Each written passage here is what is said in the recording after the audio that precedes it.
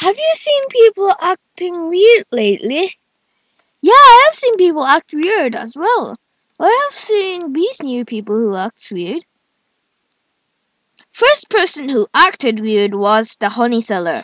now I can get more money and pay the bees. I don't know. Wait a minute, does it mean that we can spy? No way after you got caught even if it's your dream. You know what? You can spy, but I'm not, alright? Yeah!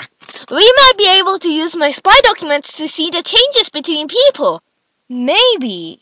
We can interview our pets, since I have two of them. How are you going to do that when animals do not talk?